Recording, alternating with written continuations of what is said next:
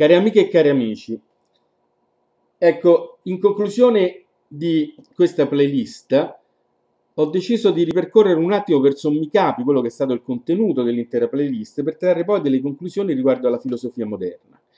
E per fare questo mi eh, appoggerò, avrò come punto di riferimento Emanuele Severino, che è un, fi un filosofo eh, che veramente eh, un, un, grande, io lo, lo, lo, adoro proprio Emanuele Severino e condivido pienamente tutte le sue lucidissime analisi. Allora, abbiamo visto che all'inizio della città occidentale la capacità dell'uomo di trasformare il mondo era molto limitata e che strumenti aveva a disposizione l'uomo per difendersi e per salvarsi dall'angoscia che gli provocava l'impermanenza delle cose, l'idea della morte, eh, il divenire del mondo dunque. Ecco, l'uomo reagì a tutto questo attraverso dapprima un'interpretazione mitica. Poi abbiamo visto che l'interpretazione mitica si sostituì quella filosofica, infine quella cristiana, per arrivare alla scienza e alla tecnica moderna e soprattutto negli ultimi 100-150 anni Ecco, le capacità dell'uomo di trasformare il mondo in conformità ai progetti che si prefigge crescono in modo straordinario proprio grazie alla tecnica. Non ci, può, ci possono essere confronti col passato da questo punto di vista, perché l'accelerazione eh, che, che, che, ha preso la dimensione della tecnica è qualcosa di, di totalmente nuovo e, e, e e, e incredibile tra l'altro, perché questa velocità è veramente inaudita. Ecco che si diffonde ai nostri giorni un senso di potenza nelle forze che guidano il mondo e, e sono che le forze che, dunque che dominano in realtà hanno il dominio sulla scienza e sulla tecnica e anche sulle stesse masse occidentali, però, sull'uomo dell'Occidente a noi contemporaneo. E questo senso di potenza legato alla tecnica e alla scienza tende a far dimenticare questo antico terrore per la imprevedibilità del divenire, eh, per, per quella idea dell'impermanenza delle cose e dell'angoscia della morte eh, che era stato fonte delle grandi riflessioni dell'uomo. E ecco che l'uomo attraverso la dimensione scientifica e la tecnica inizia a credersi potente, diventa audace in un certo senso. E la tecnica e la scienza oggi ai nostri giorni sanno di non essere verità assolute, di non essere verità incontrovertibili, di non essere, ecco, un, un termine che utilizza Severino moltissimo è episteme. Episteme vuol dire una verità incontrovertibile. Episteme è una verità che non può essere messa in discussione.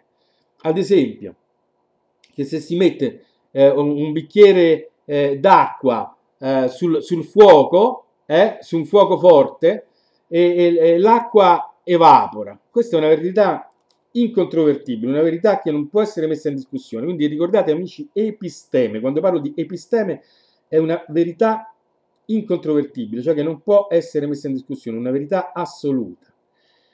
Ecco, torniamo ai nostri giorni alla scienza e alla tecnica a differenza di quello che anticamente era il mito eh, nella concezione degli antichi,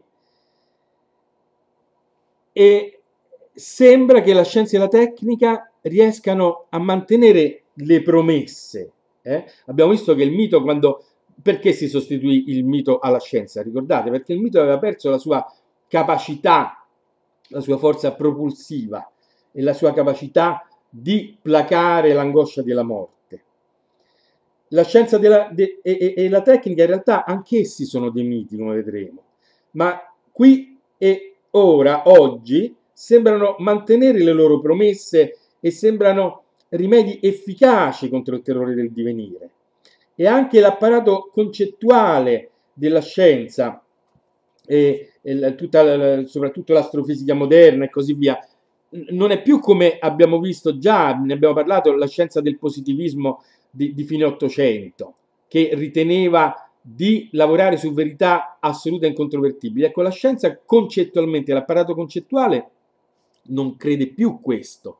Sa che ogni scoperta scientifica può essere rivista, rimessa in discussione e può avere anche una validità provvisoria. Però è rimasto nel sentire comune questo fatto appunto la, la, la, la, è scientificamente provato, come se fosse un dogma, no? E in questa foto potete vedere Emanuele Severino, ecco per chi non lo conosce, questo grande filosofo. E dicevo, il legame essenziale che il pensiero filosofico unisce all'episteme, dunque alla verità incontrovertibile, fa sì questo legame essenziale, che la distruzione del, dell'episteme, quindi del concetto di verità che non può essere messa in discussione, la concezione dunque di assoluto dal punto di vista filosofico, eh, sia distrutta. E in larghi settori della filosofia contemporanea si nega che la coscienza e che quindi anche le analisi possano rivolgersi alla totalità degli enti possano cogliere, eh, ossia nella totalità degli enti, gli enti sono tutte le cose che ci circondano, eh?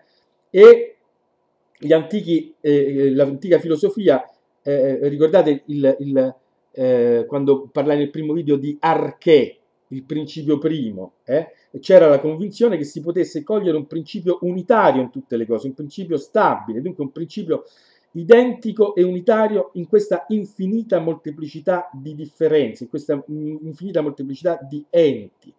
E si era convinti che si potesse cogliere il fondamento e l'origine di tutte le cose. Questo era nella filosofia antica.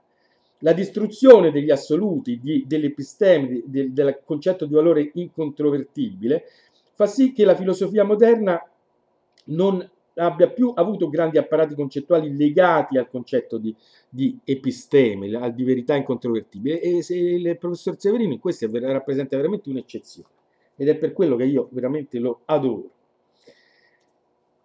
Dunque c'è la crisi del concetto di episteme, di verità assoluta, di verità definitiva. Il mondo si è frantumato in una infinità di sensi parziali, non c'è più un orizzonte di senso comune e definitivo. Cioè, ci sono tante specializzazioni, tanti sensi parziali e provvisori che vengono via via modificati poi in un processo senza fine. Anche la stessa scienza, vedi, supera se stessa in continuazione. La tecnica non ne parliamo. Compri un modello di computer, non fai in tempo a uscire dal negozio, è già superato quel modello. Dunque non esiste un senso supremo, come non esistono più riflessioni sui grandi problemi dell'esistenza che avevano caratterizzato proprio l'intero percorso filosofico e non solo dell'Occidente in questo caso. La filosofia dunque ha cessato di essere metafisica, adesso sarebbe lungo eh, parlarne, non posso affrontare l'argomento, ma ci sono state delle correnti filosofiche veramente antimetafisiche. Eh?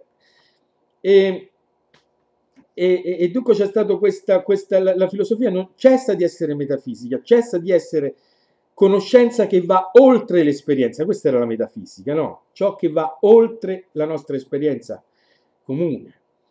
Ecco che la filosofia si spezza, dicevo, in una pluralità di teorie particolari, che sono la psicologia, la logica, la riflessione, la, la, la, la critica della scienza moderna, l'epistemologia moderna, la storiografia, e dunque ecco dal tronco della filosofia si staccano quelle che vengono chiamate le scienze dell'uomo e la filosofia in questo modo, in questa frammentazione, perde via via progressivamente il suo carattere specifico, quello, quello che era il suo elemento caratterizzante. Ma questo poi anche nell'ambito de, delle diverse specializzazioni, per esempio la medicina, eh, non esiste più, ancora c'era quando ero bambino io, il medico che stava lì e con un'occhiata ti annusava, ti guardava e era in grado grosso modo di capire quello che aveva. Adesso ti, ti inviano da, da 2000 specialisti se vai con un, con un malessere, no? C'è stata questa frammentazione. E allora noi dobbiamo tenere presente di tutto questo percorso che abbiamo fatto e in particolare del crollo dei valori assoluti e della, dell'assenza di una riflessione che, eh, riguardante la metafisica eh, eh nella filosofia contemporanea, ripeto, tranne eccezioni come il grandissimo Severino, Però per fare una riflessione filosofica ten- sulla filosofia attuale dobbiamo tener conto di tutto questo.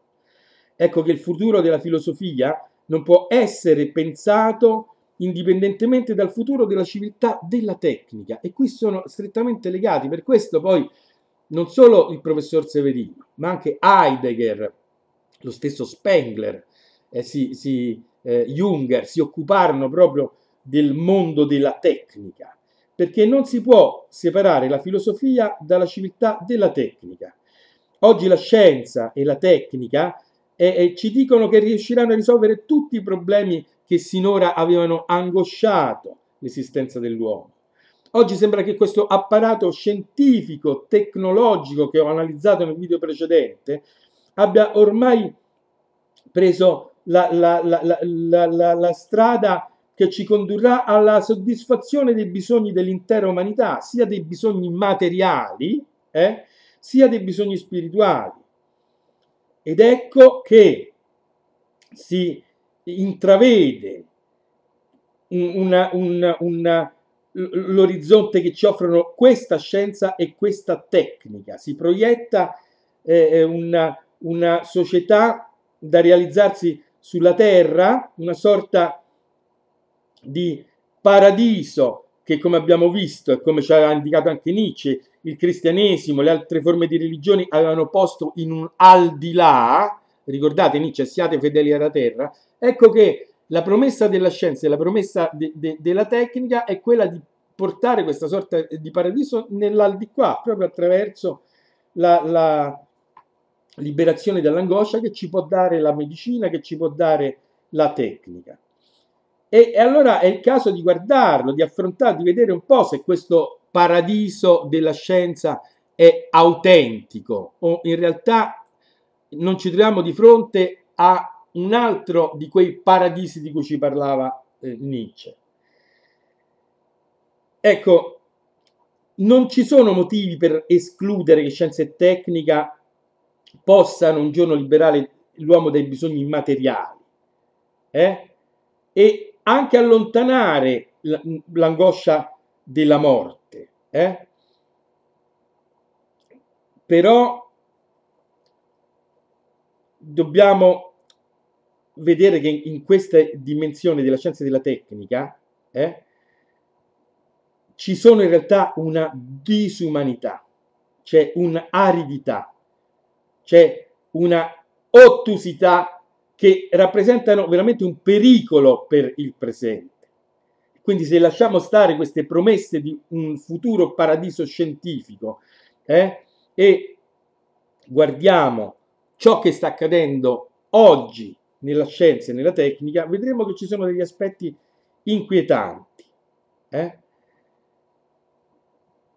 Oggi è largamente presente la consapevolezza che una contrapposizione tra cultura umanistica e cultura scientifica non ha più ragione di essere come era un tempo. E dunque ecco che la, la, gli scienziati, coloro che, ci, che alla O di Freddi un po' che ci pro, propongono questo paradiso della scienza che soddisferà tutti i bisogni dell'uomo, quello di, di eh, eh, eh appagare ogni tipo di bisogno, e di soddisfare ogni tipo di bisogno e dunque in un certo senso liberarci dalla più radicale angoscia e dal dolore, ecco ci sono queste promesse ancora da parte degli scienziati che ci propongono questo paradiso della scienza. E questo paradiso della scienza ovviamente non può che fondarsi sulla logica della scienza, ma questo è ovvio. E la logica della scienza però, attenzione perché questo è il punto da cui comincia realmente la nostra riflessione. Il paradiso della scienza, abbiamo detto, si fonda necessariamente sulla logica della scienza, perché è la scienza ad offrirci questo paradiso. Ma la logica della scienza, attenti amici, è una logica ipotetica.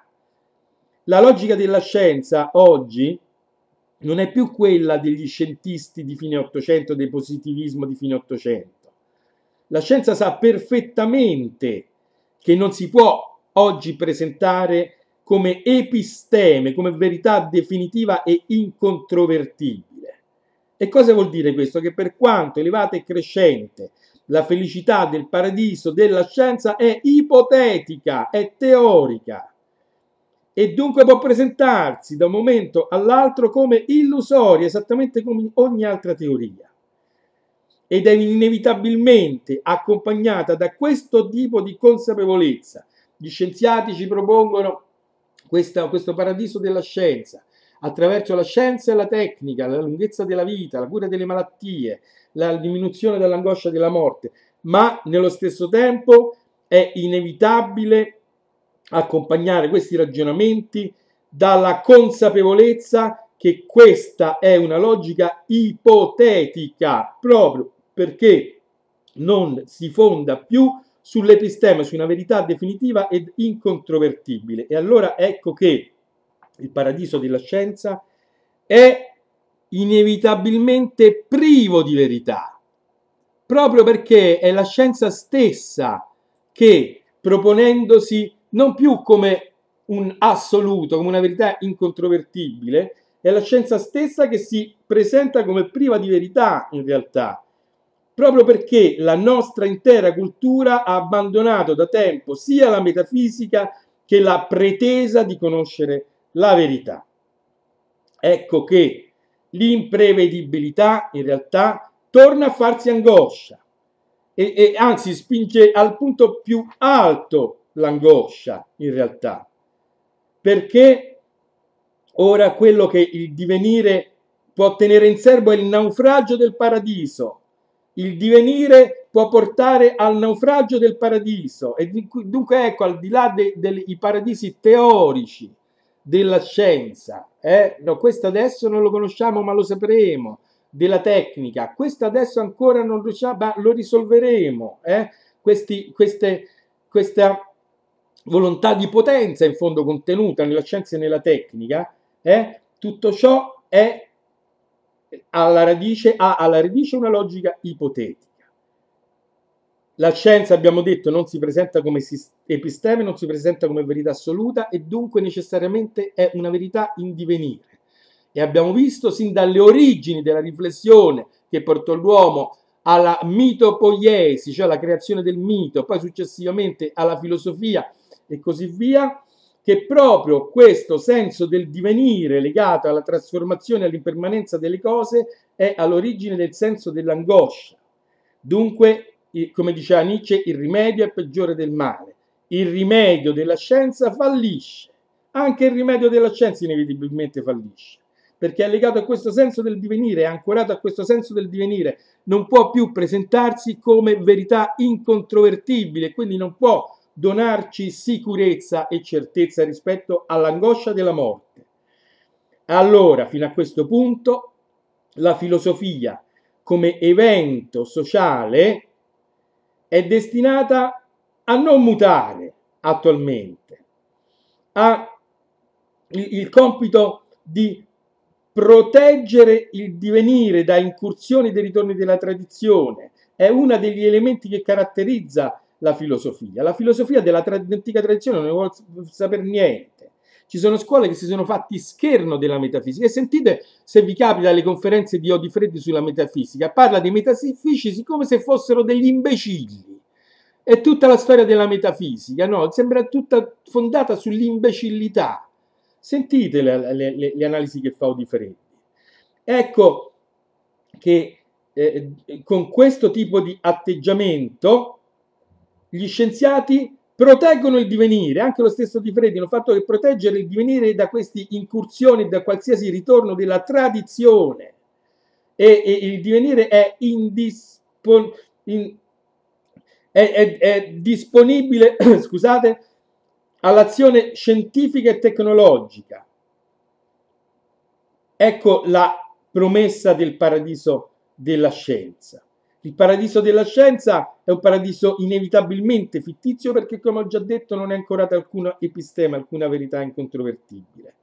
E dunque necessariamente, necessariamente, questa angoscia legata al divenire si ripresenterà in maniera, in maniera imponente.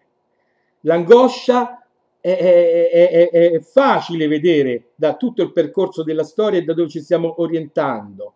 Arriverà a diventare insopportabile. Ed ecco allora che la filosofia potrà tornare ad avere un suo ruolo, perché la filosofia, arrivata a quel punto, si troverà di fronte a un bivio. O si rivolgerà nuovamente alla verità della tradizione epistemica occidentale, ed è questo che in fondo fa il, il professor Severino, quando ci dice che, che gli enti sono eterni, la riproposizione di una realtà metafisica. E iniziò tra l'altro il professor Severino tutto il suo percorso con un saggio, era giovanissimo, era una sorta di, di, di ragazzo prodigio, intitolato Il ritorno a Parmenide. Eh? E dunque ecco, o la filosofia di fronte a questo bivio del divenire e alla riproposizione dell'angoscia del divenire si rivolgerà nuovamente alla verità della tradizione epistemica, di quella tradizione che ci proponeva dei valori assoluti e che è anche la, l'intera tradizione dell'Occidente, fino a Nietzsche praticamente, e in, in, in alternativa di questo bivio, bivio la filosofia comincerà a mettere in questione lo spazio che aveva portato anticamente alla luce il pensiero greco e in cui e in realtà è cresciuta l'intera storia dell'Occidente fino all'avvento del paradiso della scienza, ossia quello spazio che è in comune sia a quella che è l'evocazione degli immutabili, sia alla distruzione degli immutabili, sia al paradiso della scienza, ossia lo spazio costituito dalla fede dell'esistenza del divenire, perché è proprio da questa concezione dell'esistenza del divenire, che è una fede anch'essa all'esistenza del divenire, eh? e da questo senso del divenire che poi si sviluppa l'intera storia dell'Occidente.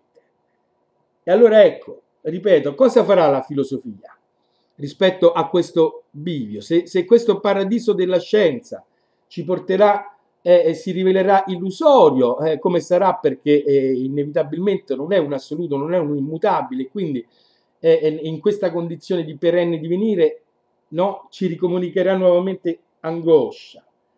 E l'ango- quando l'angoscia diventerà insopportabile, quando l'uomo si troverà di fronte a questo bivio, riprende la tradizione degli assoluti, eh? oppure, oppure legarsi a questa dimensione distruttiva del divenire. Ecco, questo è, è, è, è, il punto essenziale. Questo è il punto essenziale.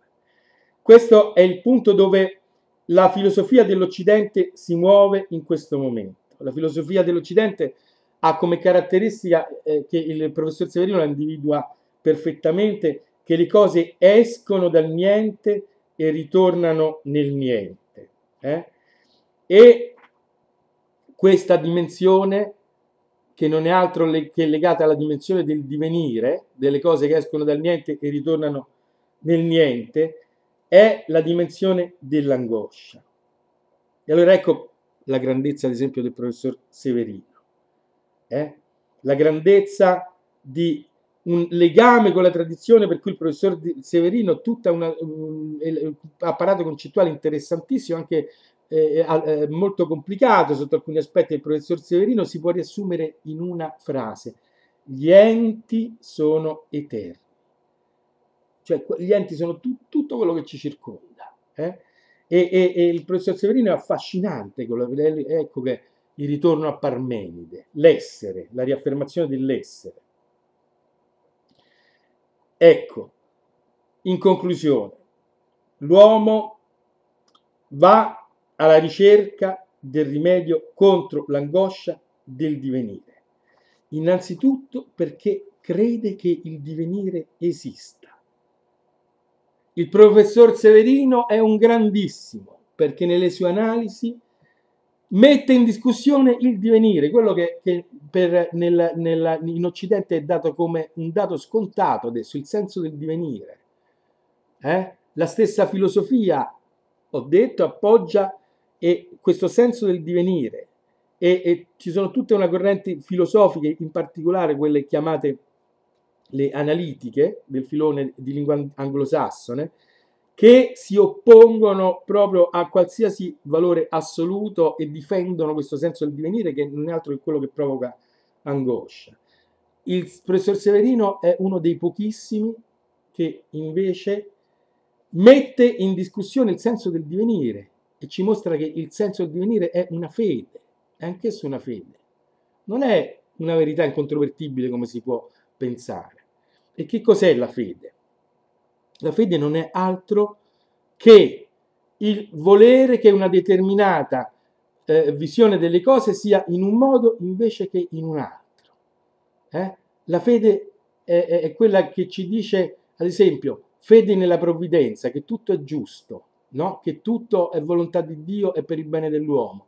Questa fede è quella che mi porta quando c'è un terremoto e muoiono eh, dei bambini che pregano in chiesa, è quella che mi porta a dire ma non capisco qual è il bene, però so che c'è il bene dell'uomo anche in questo atto del terremoto che uccide i bambini, perché ho fede in Dio. E dunque ecco che la fede è un voler vedere la realtà in un modo invece che in un altro. Bene? Perché chi ha ad esempio fede non in Dio, ma ha fede nel materialismo, potrebbe vedere tutt'altro nell'episodio del terremoto che, che eh, uccide dei bambini. Ecco che eh, lo stesso Severino fa un'interessantissima eh, analisi e approfondisce anche il senso della fede. Il professor Severino, con il suo concetto gli enti sono eterni, ci propone un rimedio per l'Occidente contro l'angoscia del divenire e va controcorrente perché appunto tutto l'Occidente, tutta la filosofia, la gran parte della filosofia, la stragrande maggioranza, il messaggio che ci dà è che è riguardo alla esistenza del divenire, non si mette in discussione il divenire. E neanche per Nietzsche il, il, il superuomo sente il bisogno di un rimedio e un riparo contro il divenire. Eh, la filosofia nicciana è una filosofia del divenire, il superuomo nicciano è colui che, che si abbandona e affronta questo divenire, eh? si abbandona a questo flusso e lo accetta nella sua totalità, quindi neanche il grande Nietzsche e la soluzione del, del superuomo nicciano sente il bisogno di, eh, di porre riparo contro questo divenire. Però Severino ci propone un senso radicalmente diverso di questo superuomo e di questo oltreuomo eh? e ci dice che quando ci si libera dalla fede del divenire e dunque dall'angoscia che essa produce perché il divenire porta necessariamente alla impermanenza delle cose e al processo di morte continua delle cose e quindi all'angoscia, ecco che quando ci si libera dalla fede nel divenire, ci si libera anche da un bisogno di costruire un riparo contro questa stessa fede del divenire perché non si, non si, non si riconosce più la realtà del, del, del divenire. Ed ecco in conclusione, secondo quella che appunto è la, la mia esperienza di vita, il senso anche del, del, del eh, eh mio canale, eh, il, e il, eh, sono convinto amici che l'unico rimedio reale contro questo divenire sia la meditazione e il ritorno al centro, il recupero del centro, l'essere qui ed ora. E dunque perdonatemi se concludo questa lunga playlist con una mia riflessione con parole che sul mio canale avrete sentito dire decine di volte. La pratica, la pratica, la pratica eh? la, la, vera filosofia sia vista come eh, filosofia, amore per la sapienza, come etimo comune, ossia come anche legata al concetto di safè, di portare alla luce, come ci dice il, il professor Severino, ecco, in tutti e due i casi, sia come amore della sapienza, sia come portare alla luce, sono legati al nostro vero sé, a questa nostra realtà che ci mette in comunione con il tutto ed è lì che dobbiamo radicarci. Un caro abbraccio a tutti. Marco Cosi.